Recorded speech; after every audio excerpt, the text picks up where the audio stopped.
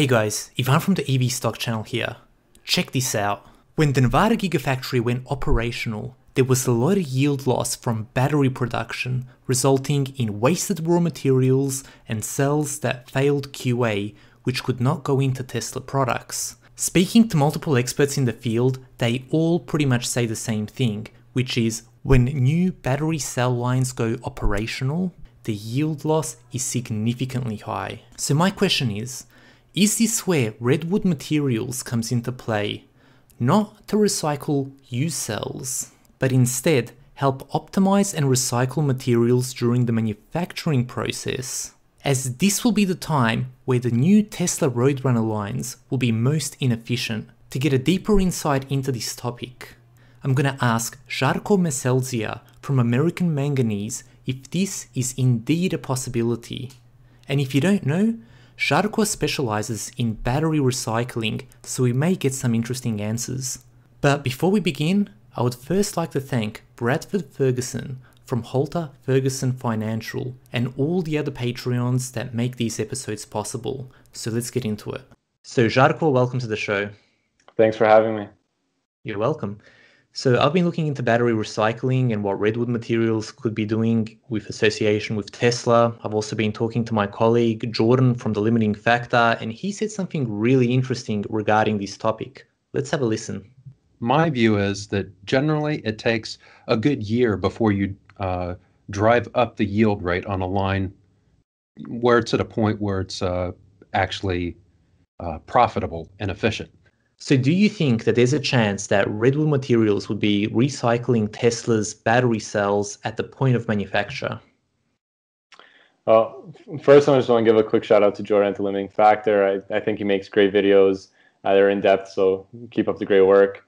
Um, but yeah, you know, I, you know, it's it's plausible. The amount of critical materials of something new that are wasted in the battery cell manufacturing is is huge. I mean, off-spec material can be up to 30% of a plant's manufacturing capacity. And what I mean by off-spec, so this could be either due to uh, material impurities or manufacturing faults, which which leaves an enormous opportunity to reduce costs. I mean, just just think about it. You have the extraordinary extraordinary growth we're seeing in new gigafactories. So you have like uh, Giga Texas, Giga Berlin, you have the Gigafactory in Nevada and China, and, and that's just Tesla alone. I mean, with everybody else, plus all the new lithium ion battery chemistries, I mean, this is just pretty much a melting pot where lab science meets manufacturing design at rates we've never seen, and, and the outcome is not perfect. And and you know, as for redwood redwood materials, anything is possible. I think, especially with JB Straubel having such a close connection to Elon and Tesla. However, redwood materials has been really quiet with their recycling developments. And just today, Wall Street uh, Journal did a piece on them uh, to give us some insight. So, you know, at first glance, it seems like they're using a high heat process, and there seems to be no report on recoveries or quality of the recycled product. Uh, regardless, like I said earlier, there will be an enormous opportunity for recycling, and we need all the help we can get in treating EV batteries. But uh, I would also like to say that it does feel good that you know, co-founder of Tesla to to be able to recognize the opportunity and, and the positive impact in recycling to be able to dedicate his time and resources into this new venture. I mean, it really shows his dedication to advancing sustainability because I'm sure he could be, I mean, easily relaxing on an island right now, especially during these times. No, exactly. So, can you give us some more depth in terms of how Redwood Materials could save costs for Tesla, especially as well, they're setting up their new production lines? Yeah, well, I mean, just look look at the complete breakdown of cell manufacturing costs. I mean, it can vary with different chemistries, but really the cathode, which is comprised of varying compositions of lithium, nickel, cobalt, manganese, and aluminum, that is really what makes up a majority of the cost. So if in your manufacturing process it's not perfect and you you mix all these materials together but then that cell doesn't get used or that material doesn't get used i mean it gets wasted um, and and that's a high cost and if you can cycle this material back, that's a huge savings. And so let's be conservative and say, you know, 10% of their production capacity is wasted uh, because it's off spec, like we mentioned before. And, and instead of going into a landfill or a smelter, the material can be directly recycled back on site, let's say at a gigafactory, into a high quality product that could be seamlessly integrated in the manufacturing process. And therefore, you're maximizing your existing critical material uh, by you know using that wasted lithium, wasted cobalt, wasted nickel, cycling it back, and you're also reducing your reliance on these same raw materials from these new mining operations from different parts of the world. And this is which I think is a huge cost savings. And you know, I'm sure your viewers are aware of the complex lithium-ion battery supply chain, including the environmental and ethical dilemmas with mining them. So with recycling, you're improving your triple bottom line, which is profit people and planet.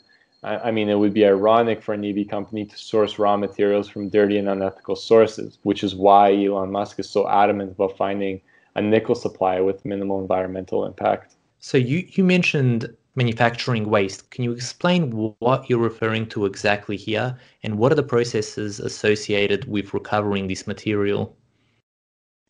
Yeah, so I mean, when you're making the different components of a lithium ion battery, like your cathode, anode, separators, I mean, there's, there's, a, I mean, some of those products are destined to fail uh, just through, you know, quality assurance.